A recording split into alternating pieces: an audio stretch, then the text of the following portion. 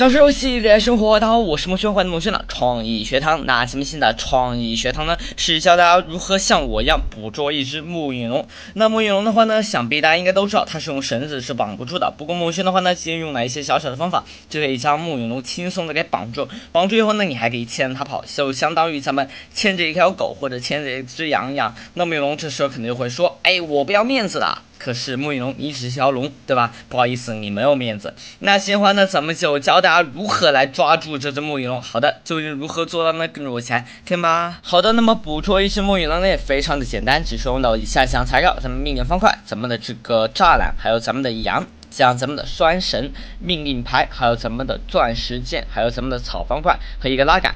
好的，那咱们首先的话呢，先拿出命令方块，先放出两个命令方块。这边的话呢，我们分别在里面打出什么东西呢？打出一个咱们的，分别是一个是给予一个名称叫做 A 的人隐身啊，隐身咱们这个啊九百九十九九九秒，就相当于一个非常强度的一个隐身了，是几乎是无限隐身的。好的，接着咱们关掉。然后打开第二个，第二个里面的话呢是输入一串这样的一个东西，这样的话呢是给予一个名称叫做 A 的人啊，给他一个这个九百九十九。百九千九百九十九秒的一个这个漂浮效果，也是一个接近一个无限的一个漂浮的一个效果，所以的话呢也是非常棒的。那关于这个指令方面的话呢，大家可以进行一个视频暂停，或者进行一个这个截屏方便的，把它纸给抄下来，或者说呢，在我的评论区下方，我可能会把这个指令给打到这个评论区的一个顶置，你可以去 B 站看，B 站顶置的话呢，都会有我打的这个指令，你到时候复制下来，直接进行粘贴就可以了。好的，那咱们这些指令呢，首先是放出这两个。接着话呢，咱们蹲下来，在这两个命令方块前面来放出一个拉杆，咱们先不要拉动它，因为的话呢，咱们现在还没有做出一个叫做 A 的东西。为什么要命名为 A 呢？因为。呃，这个平坦世界包括任何的世界，羊都太多了，所以的话呢，不指不定哪这个木影龙会传送到哪只羊身边去，说不定周围刚好刷了一只羊，木影龙就传到另外一只羊身上去了，所以的话会非常的一个尴尬。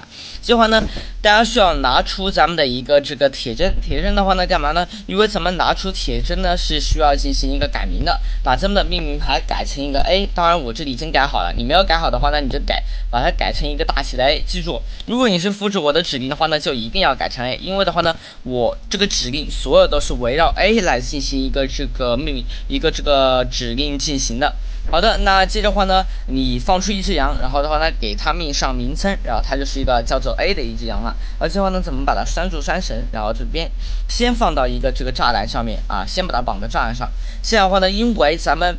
呃，为什么要把它绑绑在这样身呢？因为待会咱们把它牵到手的话呢，木影龙出现的一瞬间会往咱们身上呃这个撞啊，所以的话呢会把咱们撞开很远，导致我们根本牵不到它。好的，接的话呢，咱们先给它一个隐身效果，大家看它有隐身了，再给它一个漂浮效果，把它给漂浮到咱们的一个顶空上啊，让它给漂浮上去。接的话呢，咱们还需要在旁边放出一个指令，这样指令的话呢是一串这个指令，这个指令的话是一个这个 TP 的指令。就说呢，无时无刻都把咱们这个末影龙 TP 到一个名称叫做 A 的一个物品上去。现在话呢，咱们命令方块的类型应该是一个重复红石，咱们先不要去动它。然后的话呢，咱们现在呃蹲下来把这个拉杆给放置一下。然后接着话呢，我们需要在一个比较远的地方来召唤出一个末影龙。咱们在呃这个地方来召吧。离那边栅栏都比较远一点的地方，那咱们一定要记住远一点，因为木影龙出现的一瞬间呢，它会对旁边造成一个这个撞击伤害，所以的话呢，很多方块都会丢失。我害怕我的拉杆待会也会被打掉。这话呢，咱们召唤出一只木影龙，木影龙的指令呢也是非常简单，是一个这个 S U M M O N，一个这个非常简单的一个召唤指令。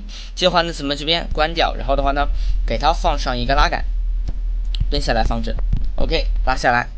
拉起来小拉杆，好的，大家看木影龙就已经成功出现了。那这边呢，木影龙好像飞很远啊，那咱们现在赶快把它给牵回来，哎，赶快拉下这个拉杆，把它牵回来，不然它飞远的话呢，我怕这个命令方块的一个这个判定效果不到，所以的话呢，木影龙它就抓不回来了，抓不回来的话呢，就要你一切重新进行了，因为你必须要输入指令。如果你的呃中途一旦有这个木影龙飞跑了，或者说呢羊不小心被你打死啊什么方面的，一定要用这个万能指令 K I L L，哎，等一下。是一个斜杠 k i l l 空格艾特一，然后你输入出去呢，木影龙啊，包括什么东西都会杀死，当然不会杀死你这个创造模式的你。好的，接着话呢，大家可以看到，咱们木影龙的成功已经被咱们牵上了，因为咱们羊被隐身了，所以的话呢，大家可以看到，咱们这个羊被隐身了的话呢，咱们看不到羊，就相当于什么绳子牵住了一个木影龙的样子。那你一定要记住如何去取这个拴绳啊。那关于取这个拴绳呢，我是研究了很久，因为你是不能直接取下来的，你点一下拴绳呢，它就会直接跑掉，所以的话呢，你需要从底部靠近它，然后对着它长按一下，就成功拴住咱们木羽龙了。当然你不要拴住它的话呢，你就直接把它绑在咱们栅栏上就可以了，对不对？所以的话呢，你如果要拴住它呢，就必须要从底部接触，你从旁边接触的话呢是不可能的。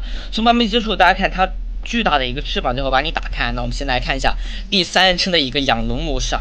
我成功的变成了一个捕龙人啊，对不对？哎，这个就非常帅气了。你有见过有人牵过木羽龙吗？所以的话呢，大家可以利用这个方法去跟你的小伙伴装逼啊。那他们可能是并不知道你这个木羽龙是怎么牵的，他们可能会傻不拉几的去学着你把这个拴绳去往木羽龙身上拴啊。大家一定不要怕，这个拴绳是拴不住木影龙的，因为木影龙是不可能被这个拴绳拴到的，它是不能给被判定的。所以的话呢，你只能用到咱们的一个这个呃拴住咱们的一个羊，然后才能导致啊相相当于很像咱们。把咱们这个木影给抓住啊。好的，那咱们本期的视频就到这啊。如果喜欢本期的话呢，记得订阅一下小频道，有什么优惠的话在视频下方留言。那我是秘书兄，我们下期吧，拜。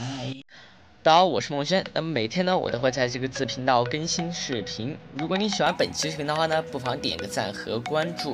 那如果你感觉这些教程还不够的话呢，可以去我的子频道转一转，说不定有你喜欢的东西。好的啊，那我是秘书兄，我们下期吧，拜。